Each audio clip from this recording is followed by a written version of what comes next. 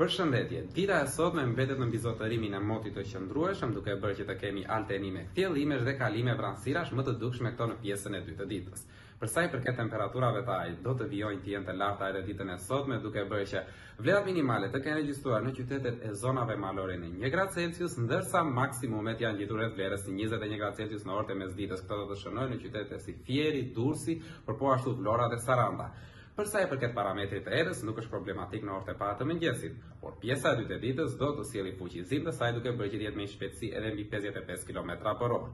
Ditën e shtunë, era do të jetë më problematike, me shpejtësi edhe mbi 75 kilometra për orë në det të hapur, duke bërë që të kemi problematikë për sa i përket trafikut detar, por jo vetëm, edhe në tokë herë pas here do të jetë me një shpejtësi rreth 55 kilometra për orë.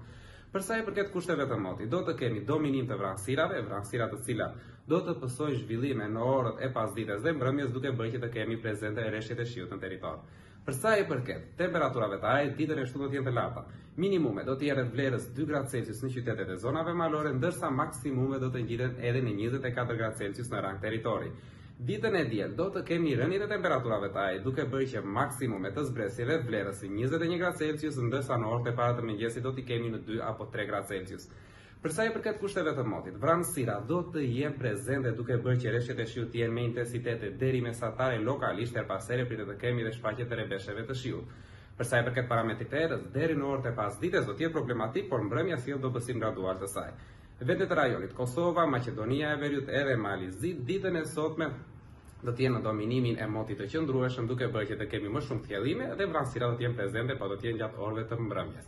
Për sa i përket ditës së shtunë, pritet që vranësirat për Kosovën dhe Maqedoninë e Veriut të bëhen më të shpeshta në orët e mesditës, Dhe pasdites, ndërsa mbrëmja do të sjellë prezente reshjet e pakta të shiut, dita e diel do të bëjë që Kosova, Maqedonia e Veriut të jenë në dominimin e motit të paqëndrueshëm me reshje shiu herë pas here në formën e rebesheve. Temperaturat e ajrit ditën e sotme mbeten të larta për Kosovën dhe Maqedoninë e Veriut, maksimumet që do të ngjiten në Gjakovë edhe në 18 gradë Celsius, ndërsa në Malin e Zi dhe në Maqedoninë e Veriut pritet të kemi maksimume të cilat do të regjistrojnë edhe në vlerën 19 gradë Celsius. Dita e shtunë do të sjellë një tjetër rritje me të paktën tre gradë Celsius duke bërë që maksimumet në Kosovë të ngjiten shumë pranë vlerës, njëzet gradë Celsius në Maqedoninë e Veriut edhe njëzet e një gradë Celsius. Dita e diel sjell rënie me tre gradë Celsius të temperaturave të ajrit për vendet e rajonit.